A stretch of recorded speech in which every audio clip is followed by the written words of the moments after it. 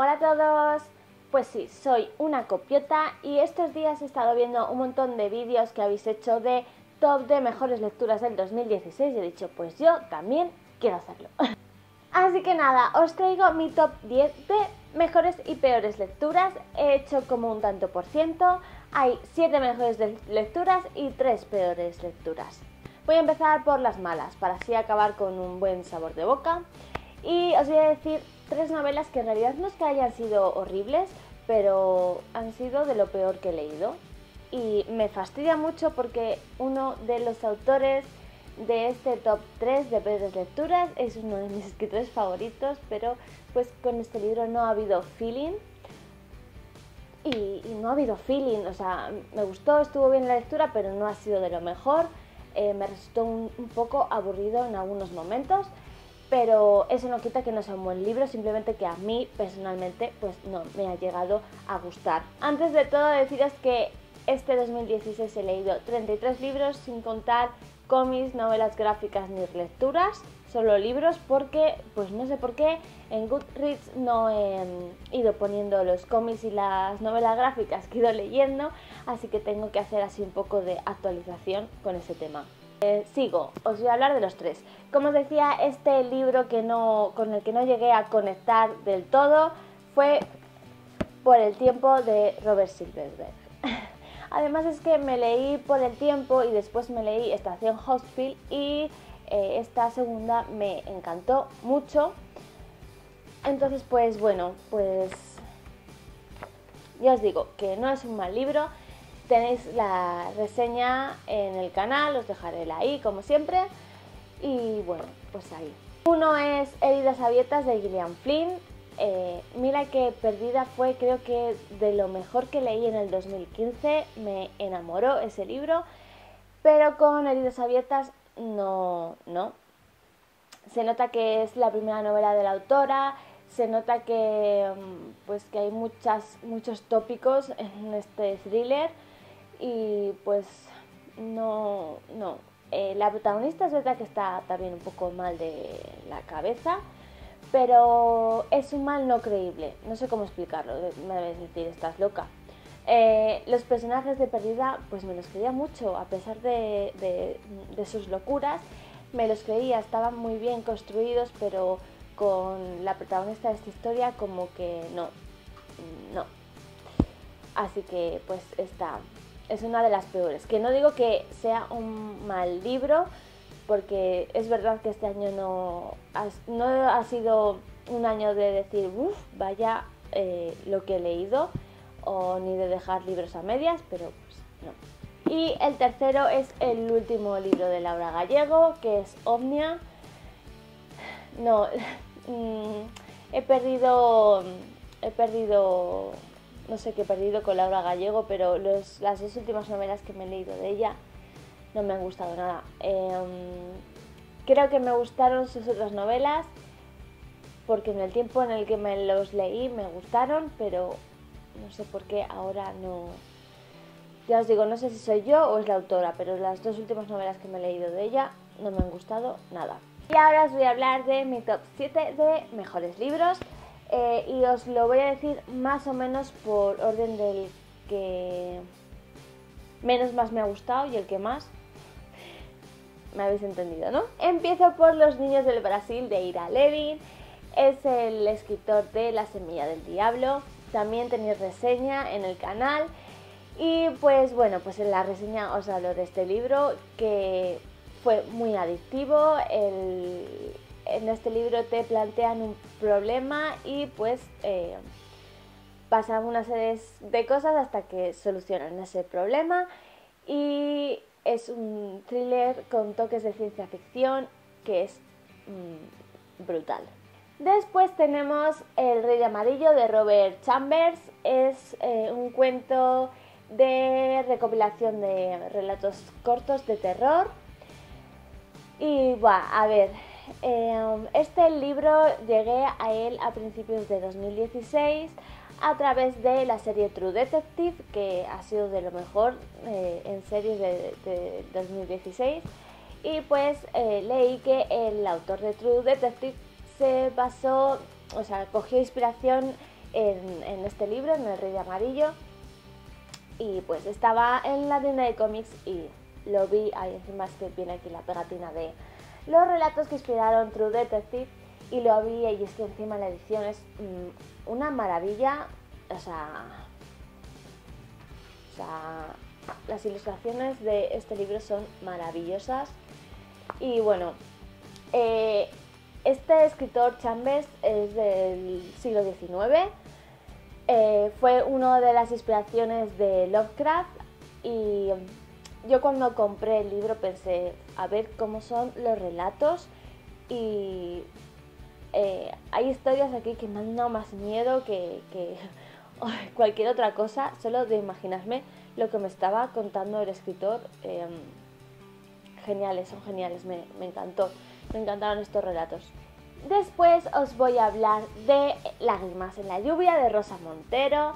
Es el primer libro que leo de Rosa Montero y me encantó. Me lo leí durante el viaje a México y ha sido genial. No he hecho reseña de este libro, sí que me gustaría haber hecho reseña.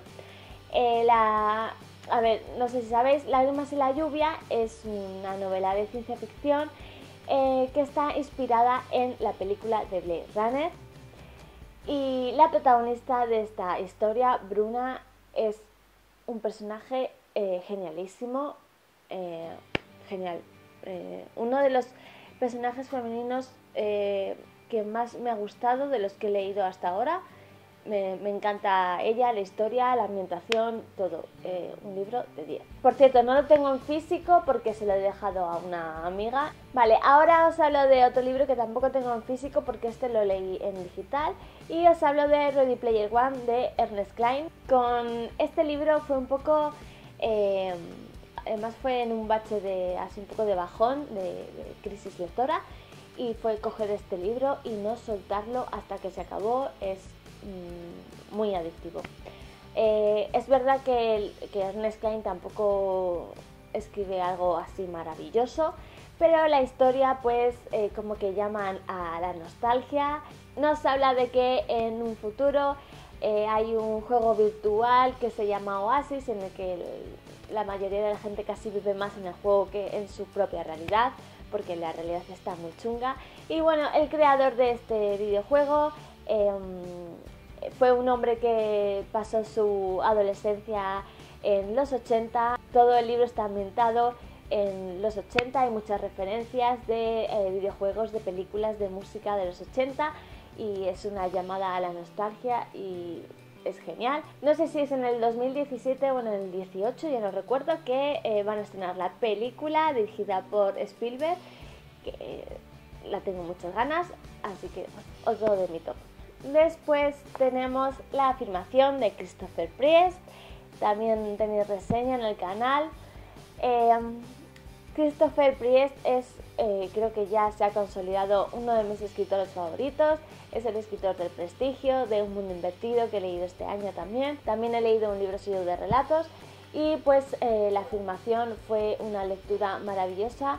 Es una historia muy, muy íntima. Eh, que nos habla de un personaje que vive en dos realidades. Ni él ni nosotros mm, llegamos a saber cuál es la realidad mm, real. Y bueno, eh, no sé, es, es fantástico.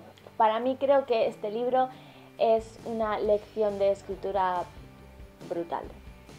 Y los dos últimos libros eh, no serán los mejores libros de este top no serán los mejores libros objetivamente, puede ser, pero son los dos libros que para mí más me han tocado la patata, han significado mucho en este año. estos dos libros, no sé cómo explicarlo. Uno, em, ha hecho que, que, yo recordase a mi yo de 15 años, que recuperase un poco esa esencia que había perdido.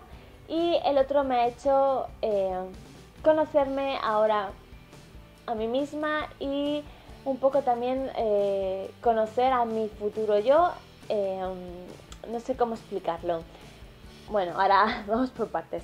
Vale, em, ese libro que, que, me hizo eh, reconciliarme con, con, mi yo adolescente.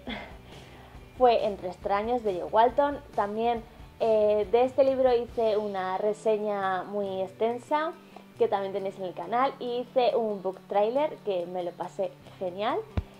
Y pues nada, no, no sé qué más deciros que no diga en ese vídeo, si queréis verlo, os lo recomiendo mucho. Creo que es eh, una de las reseñas que, bueno, no, no es reseñas, no fue una reseña, uno de, los vídeos más personales que he hecho en el canal. Y, um, y bueno, este libro fue el ganador del premio Hugo en 2014 y, y es maravilloso. Es eh, una historia de realismo mágico. La protagonista de este libro es una chica de 15 años que es una fanática de los libros de ciencia ficción y pues aquí puedes encontrar, pues no sé, lo mismo 100 libros, 100 em, recomendaciones de, de libros de ciencia ficción y es genial. Y por último, el libro que os hablaba que ha hecho que me conozca más a mí misma y como que sepa afrontar mi yo del futuro. No sé si lo estoy diciendo bien. A lo mejor dentro de un año miro este vídeo y digo, Laura, ¿qué decías? Pero os hablo de Futuros Perdidos de Lisa Turtle. Eh, con este libro ha sido muy muy brutal. Os puedo asegurar que tengo eh, la mitad del libro subrayado. Eh, a ver, de hecho de este libro tampoco he hecho reseña y joder, de este sí que me gustaría hacer una reseña. Eh, bueno, voy a intentar hablar un poco así por encima de él ahora. Este libro fue mm, publicado en 1992 y este año los maravillosos de Gigames le han vuelto a reeditar con esta ilustración tan eh, increíble, maravillosa que me encanta. Em, pues bueno, yo estaba esperando a ir a Gigames para comprarle, pero pues estaba en la librería de donde vivo, del pueblo donde vivo, y lo habían traído y no me pude resistir. Este libro eh, nos habla de eh, mundos paralelos, de multiversos. Eh, la protagonista Claire, em, no quiero extenderme mucho, ¿vale? La protagonista Claire, em, a través de sus sueños, es bueno, eh, para empezar, es una chica que nunca ha soñado, pero de repente un día pues empieza a tener sueños muy extraños en el que tiene como em, diferentes vidas, diferentes personalidades, entonces ella lo que está haciendo es, está, está teniendo constancia de eh, sus yo de, de otros mundos. Y la verdad es que es un libro bastante reflexivo, no tiene mucha acción, eh, pero es que pues todo, todo el libro son eh, reflexiones de, y los pensamientos de la, de la de la protagonista y pues claro es una protagonista la que tiene varias personalidades y pues es muy muy genial eh, adentrarse dentro de todas esas personalidades sentirse identificada con alguna de con alguna de sus personalidades te vas a sentir identificada en algún momento y sobre todo habla de la importancia de nuestras decisiones en la vida, de todas las decisiones que tomamos eh, tienen, hacen que, nuestra vida coja un rumbo u otro. Eh, cada decisión eh, se crea una alternativa y, y nada, pues no sé, es muy, muy brutal. Tiene apenas 200 páginas eh, sé que va a ser un libro que voy a releer más de una vez y me hubiese encantado que este libro tuviese mil, las que fuesen, no sé, es verdad que el final, eh, lo que menos me gustó del libro fue el final. Mm, y me hubiese gustado que hubiese um, sido un poco más extenso con eh, los últimos capítulos en el que explicaba más de, alguna cosita y me hubiese gustado saber más de todo esto. Pero bueno, no sé, creo que este, estos dos libros son los libros que definen mi año y a mí estos dos libros.